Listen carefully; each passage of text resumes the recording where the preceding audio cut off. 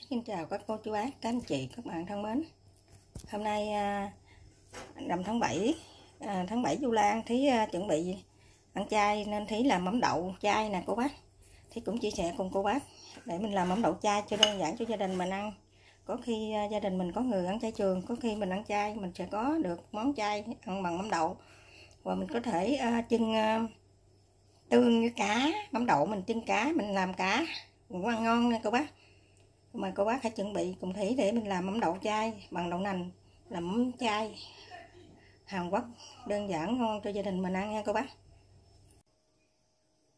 Mình ngâm đậu mình ngâm đậu một đêm một ngày để mình nấu mình làm à, mắm đậu đó. Giờ thấy chờ đem ngâm mắm đậu, à, đậu nành ha. Có thể lấy trăm gram rưỡi đậu nè bảo khoảng trăm rưỡi hoặc hai trăm gram đậu trở lại mình nấu mình làm mắm đậu để mình ăn một hai tháng rồi mình làm tiếp hết. Cho đây cho tới hết hè là mình làm một hai đợt mắm đậu nữa là được ha. Vì mắm đậu mình để trong tủ lạnh mình ăn cũng được một tháng hoặc là hơn tháng thôi chứ không để lâu được. Là mắm đậu là mình để lâu nó sẽ đắng. Rồi bây giờ mình sẽ đem rửa ha. Rồi mình đem rửa mình bớt cái bọt mình à, mình bóp cho nó sạch ha. Rồi mình sẽ đem ngâm. Cái này cũng khoảng 200 gram đậu, đậu nó nằm. Rồi mình rửa xong mình sẽ để mình ngâm nha giờ này là mình ngâm tối. Cỡ khoảng chiều mai ba, bốn giờ mình sẽ nấu.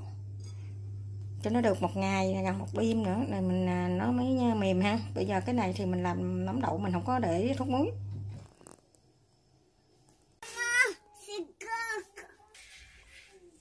Đó đậu nành của mình à, mình ngâm à, một đêm giờ một ngày rồi đó với chiều nay là mình chuẩn bị mình nấu hộp đậu nành mình ngâm tự nhiên ha. Mình không có ngâm nước muối cô bác.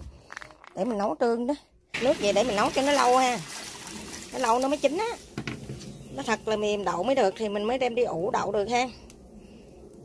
Cứ mùa nắng là mình tiếp tục mình làm đậu chay làm tương đậu mình ăn ha. Tương đậu thì ăn nó rất là dễ dàng. Có thể là mình kho chay nè rồi có thể mình kho cá nè có thể mình làm đủ thứ món ăn ngon nha. Đó bây giờ mình tiếp tục mình nấu. Nếu mà nó chưa mềm phải đổ nó thêm. Nó tính thế giới ra một hộp với à, thứ à, ấy cử cô bác coi nè. Nè mình bóp nó mềm luôn nè đó. Nó mềm như vậy mới được ha. Rồi bây giờ mình sẽ đem đi uh, vớt ra ha. Mình để vô nước mình rửa. Xong rồi mình sẽ để vô cái rổ mình um, ủ nó. Nấu lâu lắm luôn nha cô bác. Nấu mà mấy ờ, bốn uh, năm tiếng đồng hồ á. Cái đậu nành nấu rất là lâu. Rồi bây giờ mình sẽ để vô cái nước ha nè mình chuẩn bị thau nước mình thả. Đó, mình để vô đây đó các bác mình rửa nè. Mình rửa sơ thôi chứ không cần rửa dữ quá ha. Rồi mình sẽ đem để qua cái gỗ của mình lại. Rồi mình vớt qua cái gỗ của mình lại ha. Để mình để cho nó, mình ủ nó nè.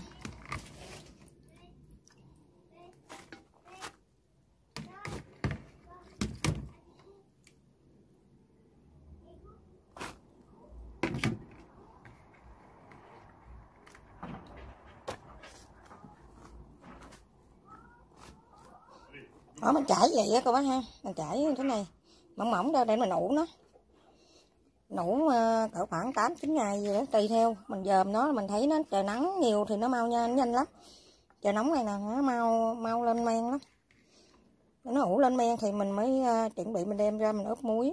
Rồi mình sẽ cho thính vô là mình sẽ để vài tháng là mình sẽ có mắm đậu mình ăn ha.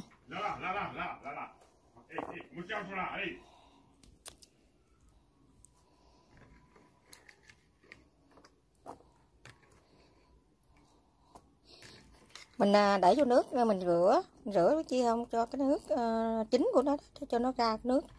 Nó, nó không còn cái nhựa để mình ủ nó không bị nhiên thiêu ha.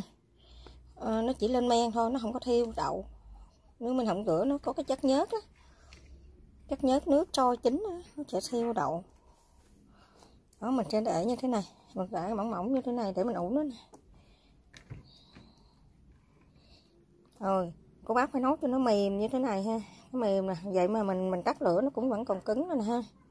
Cái mềm như thế này thì nó mới nát thành đậu nành được ờ, thành tương đậu.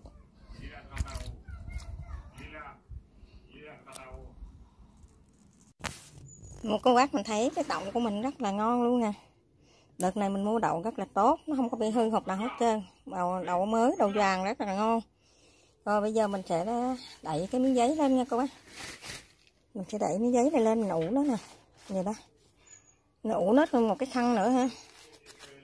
Mình phải lấy cái bọc nhựa mình chùm nó lại cho nó kín lại giống như mình ủ giá vậy đó. Cho nó đừng có hơi, để cho nó mau lên men ha rồi ờ, bây giờ mình đậy dây cho nó nguội đi ha. Nó nguội thì xong mình mới bể vô trong bọc mình ùm nó lại được ha. Nó còn nóng rồi đừng để ha. Đó, mình để cho nó nguội đã. Rồi mình à, mình phải canh vài tiếng nó nguội, mình sẽ lấy xuống mình lấy cái bao. Lấy cái miếng vải đậy lên đây, cái khăn đó, đậy lên đây, để lên đây dằn lên đây xong rồi mình sẽ lấy để nó vô trong cái bao xốp mình cột nó kín lại giống như mình ủ giá để để nó hầm hơi nó lên men. Giống như mình làm à, cơm gụ đó. Đó mình nấu cái đậu nành mình đem vô đây đó cô bác. Mình ủ nè. Mình nấu xong rồi mình ủ. Đó mình ủ cô, cô bác thấy không? Mình đậy cái dĩa như thế này. Mình để cho nó kín lại là được ha. Hai miếng giấy là được, được. Khỏi cần để cái bọc nhựa cũng được.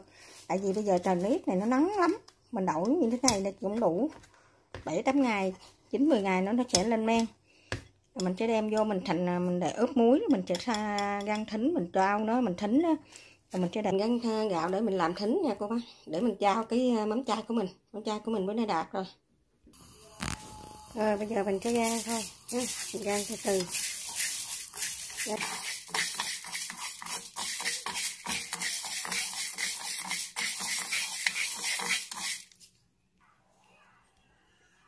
Đó nó xong rồi đó cô bác. Bây giờ mình sẽ đem chay nha cô bác. Ở trong cái miếng giấy của mình xong rồi mình sẽ đậy nó một miếng giấy nữa. Là hai miếng ha. Hai miếng mình đậy nó như thế này nè. Đó bây giờ nó nó dính như vậy nè nó, nó, nó lên men rồi nè. Đó cô bác mình rửa hai ba nước nè. Mình rửa cho nó sạch cái à, cái men đi xong cái móc à, cái lên men của nó đi xong mình sẽ vớt ra ha. Mình sẽ để cái áo vậy rồi mình sẽ đem đi giả nó ha. Cô bác rửa hai ba nước nó mới sạch nha tại nó có cái men đó là nó tiểu hai mươi lít nó mới sạch cái hộp này mình bỏ đi. Đó, chứ không phải nhất thiết phải đâm dẻ theo không? Đó, mình làm giống như là mình làm ờ, móng cá linh của mình vậy đó. Mình cũng đem để cho nó ủ như thế này, rồi mình cũng đi rửa ráo nước rồi mình mới lấy. Mình mới ờ, đem trao thính á, cũng y chang vậy đó. Nó nát rồi mình để ờ, muối nha cô bác. Bây giờ cái này thì mình cho một ờ, muỗng canh muối đi ha. Chứ không thôi là nó sẽ lạc, là nó sẽ bị hư. Mình không thể muốn khô được. Mình để hai muỗng cà phê muối luôn à. Là một muỗng canh đó. À. một muỗng.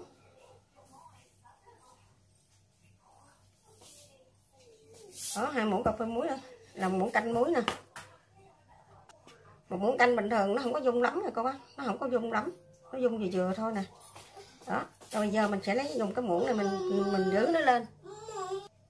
Đó, bây giờ mình dùng muỗng này, mình mình dùng tay đi, mình dùng muỗng thì mình cầm nó không có đều đâu ha.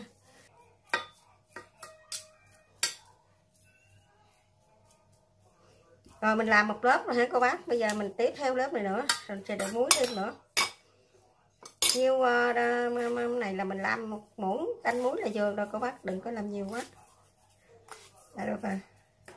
Rồi xong bây giờ mình không trộn nữa ha. Mình tiếp theo mình để là một phần này nữa. Đó một phần này lên nữa là mình sẽ trộn muối thêm nữa. Vậy đó. Cô bác phải làm vậy nó mới đều ha.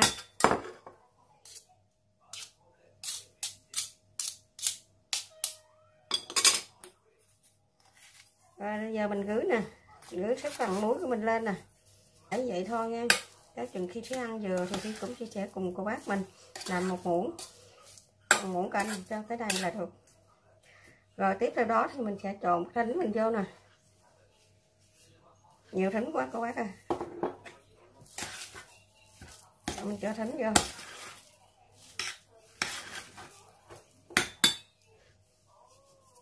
Ngon tầm để luôn hết luôn. Đó. Dạ, giả nát quá ha. Dạ, để vừa vừa để khi mà nó thành mắm đậu mình múc ra nó có hột đậu đó, nó đẹp nó ngon nữa. Rồi mình để vô keo nè. Phải lau cho khô cho sạch cái keo của mình ha. Mình khử cho nó sạch để cho nó giữ được cái độ nấm đậu của mình nó mới lâu được mà nó ngon được. Đó được con keo thôi ha. Ờ, cô bác thấy nó đẹp không? Nó ngon không? Đó bây giờ mình sẽ kiếm một cái bao bọc ha mình cái bọc mình để nó lên đây nha cô bác. Mình đè nó xuống vậy. Để nó lên. Lấy cái bọc nhựa nào đó sạch sạch đó, mình để nó lên, mình à, giống như mình làm mắm vậy đó. Mình đè nó lên rồi mình mới đậy cái nắp nó lên. Đó, cô bác, mình để miếng này vô nè. Đó, mình để vậy nè. Mình lấy cái bọc sạch nào của mình á, cái bao xốp nào sạch đó, mình sẽ để mình xếp cho nó kỹ lại. Rồi mình để vô đây nè ha. Đó vậy đó cô bác, bây giờ mình sẽ đẩy nó lại. Đó. Mình phải dài nó vậy nè, rồi mình đẩy nó lại vậy nè. Đó. Cỡ khoảng ba, bốn tháng nữa thì nó sẽ thành cái mắm đậu rất ngon. Nếu mà ăn lâu, để lâu thì nó thành mắm đậu ngon. Nếu một tháng thì mình ăn thì nó cũng chưa ngon lắm. Rồi, xong cô bác ơi, bây giờ mình sẽ kiếm cái chỗ nào kính kính đó mình để vô nha cô bác. Để cỡ khoảng ba, bốn tháng mình sẽ lấy ăn nha ba tháng thì mình tâm chừng đi nó ngon rồi nó ăn được là mình ăn. Để lâu nó cũng không tốt mà mà ăn liền nó cũng không ngon gì đó. Thì nó cũng phải đúng cái độ của tháng của nó. Khoảng 3 tháng thì mình sẽ lấy ra mình ăn. Cô bác ơi cái ờ, mắm chay của mình nè cô bác. Mắm tương đậu của mình nè mình làm ờ, xong rồi. Bây giờ nó thành công rồi nè cô bác. Họ ở Việt Nam á, thì mình ăn chay 10 ngày hoặc 8 ngày thì mình ra chợ mình mua. Còn qua bên Pháp này á, thì mình cũng có lên chỗ nó bán tương hồng Quốc mình cũng mua được vậy nhưng mà bây giờ mình tự làm ăn luôn nha cô bác. Nó rất là ngon nè mình làm nè bữa đó. Cô bác nhìn thấy à, thí làm xong rồi thấy trẻ để nó vô thơm lắm cô bác ơi. Nè cô bác nhìn thấy nè. Ừ, cái múc ra nè bây giờ nó thành rồi, nè nó thành nấm đậu rồi nè rất là ngon nè cô bác. Cô bác cứ uh, bây giờ nó thành rồi ha thì cô bác cho nó vô tủ lạnh nha. Mà cái này thì hơi lạc nè chút nữa thì cho để muối vô. Để cô bác ăn mà nhanh á thì cái này cỡ khoảng vài ba bữa để trong tủ lạnh vài bữa từng lại mình ăn hết còn không là cô bác ấy ờ, dằn muối thêm nha cái này nó hơi lạ cho nên thấy ờ, để ăn mình thấy nó ăn rất là lâu nên thấy sợ. Nó nó nó, nó, nó, nó sợ nó nó chở nên thấy phải ờ, dằn muối thêm. Cô bác mình ăn có nhiêu đây nhanh lắm. Ồ, ngon lắm cô bác ơi. Cô bác nhìn thấy cái tương đậu mình làm cực kỳ ngon ngon hơn um, mình mua ha trắng bóc ngon lắm luôn. Mà nó thơm kinh khủng luôn nha cô bác nè rất là thơm bưng à cô bác thích ăn cái này chân cá chân tương á, chân ờ, chân cá này cô bác thể ăn. Bây giờ thí cho múc nó ra để mình chào trộn vô đây nha cô bác. Nhà thí hồi xưa thì ông ngoại của thí thì ăn thì à, à, trộn bằng tỏi ớt sống như thế này. Mà cô bác ăn thì cô bác sẽ để lên cái thử thử chả nè thử với tỏi nè rồi cho nó thơm chả với tỏi cho nó thơm rồi múc miếng để vô trong dầu xả tỏi thơm đó đó rồi mình sẽ chế miếng chút nước vô mình để chút à, bột ngọt đường vô của, của bác mình ăn đường thì để đường. Thường thì cái này mình không có để đường nha cô bác. Ăn bột ngọt thôi. Rồi để vô mình xào lên vậy mình chấm với rau luộc ăn rất là ngon nha cô bác. Bây giờ thí cái đậy cái này là thí ăn cũng khoảng nhiêu thôi nè. Bây giờ mình đậy kính thôi ha. Mình đem trong ngăn mát tủ lạnh mình để nha cô bác. Nhưng mà cái này nó hơi lạ thí sẽ thêm một chút muối nữa thế làm nó vừa nó vừa ăn lắm nhưng mà ăn nhanh thì mới được còn ăn chậm như thí thì phải cho thêm muối nè thí cho thêm nửa muỗng cà phê muối nè. Để khi ướp nó vô bởi chi không để mình để lâu nó được. Chứ không thôi là cô bác là ăn như thế này á ướp muối vừa như thế này á ngon như thế này á thì mai mốt mình ăn trễ nó sẽ bị à, à bị dở đó. nó bị à, chở nó giống như có điều 3 tháng nó mới được ăn nha cô bác. Bắt đầu 3 tháng nó mới được ăn nó mới ngon mà nó ờ, 3 tháng, đúng 3 tháng nó mới ngon á. Thì làm cũng 3 tháng rồi nè, nó mới ngon nè. Rồi xong cô bác ha mình dằn cái miếng bọc của mình lên. Mình dằn cái miếng bọc của mình lên vậy nè. Giống như mình gài mắm đó gài cho nó chát vô. Mình nấu, mỗi lần mình múc mình cũng gài nó chát vô để cho đừng có hơi gió vô. Rồi xong rồi mình chỉ vẽ rồi nó nó vẽ rồi đó, bắt đầu là mình sẽ đậy nắp nó lại. Rồi đó cô bác ha. Mình này ăn rất là ngon cô bác ơi. Hôm nay cứ ăn chay nè, lễ vô la này cũng ăn cô bác. Mình ăn món chay là mình có đồ chay mình ăn. Rồi bây giờ mình sẽ trộn này lên nha quá bây giờ thí sẽ để bột ngọt. Ăn chay đơn giản, không có gì cô bác chỉ đồ rau luộc với lại đậu mắm đậu hoặc là tương hộp hoặc là nước tương mình làm. Thôi, nước tương mình mua cũng được. Đó mình có ớt trong đây nhiều thì nó ngon hồi xưa thì ăn ớt được nhiều nó ngon lắm. Nhưng bây giờ thì không ăn ớt được nhiều thì mình chỉ ăn tỏi thôi. Nhà thí thì hay ăn sống như thế này nè rồi lấy nước rau đó. Nước rau luộc là mình chế vô đây nó sạch sệt mình chấm rau ăn rất là ngon cô bác. Đó vậy đó. Cô bác thấy mình trộn lên vậy nó rất là ngon.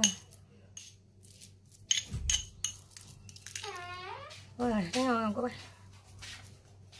Thơm lắm cô bác. Cô bác ơi, mình ủ đậu mà khi mình ủ cái hột đậu mình nó sẽ bị khô nha cô bác. Ủ như thế thì nó sẽ bị khô. Nếu mà cô bác chầm lại kính thì nó không bị khô. Nó không bị khô thì nó có nước thì nó rất là là là là có nhiều hột bị hư. Cho nên cô bác phải ủ cho nó khô. Khi mà hột đậu khô thì mình sẽ làm hột đậu mà khô, mình dục còn hột đậu nó mềm, mình sẽ đậm giả nó nha cô bác. Chứ đừng có giả hột đậu khô luôn nha. Tương mình nó sẽ không ngon. Thì cũng đã chia sẻ cùng cô bác mình làm tương đậu Hàn Quốc ngon rồi cho gia đình mình. Thì xin tạm biệt cô bác ở video này.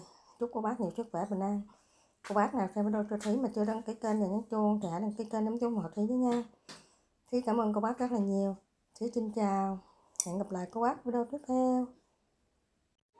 Tương đậu mình nó thành rồi nó hơi đen đen có những cái đen đen trên mặt cô bác hết bỏ đi ha, cô bác đừng có quan tâm đừng có dục cái hết cái keo tương nha cô bác.